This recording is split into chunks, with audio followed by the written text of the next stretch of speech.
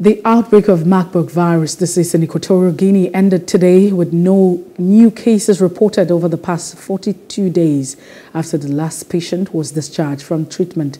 The UN's health agency said the disease, a cousin of Ebola, had caused 35 confirmed or suspended deaths. The outbreak, declared on February 13, was the first of its kind in Equatorial Guinea, a small coastal state in central western Africa. The virus takes its name from German city of Marburg, where it was first identified in 1967 in a lab where workers had been in contact with infected green monkeys imported from Uganda.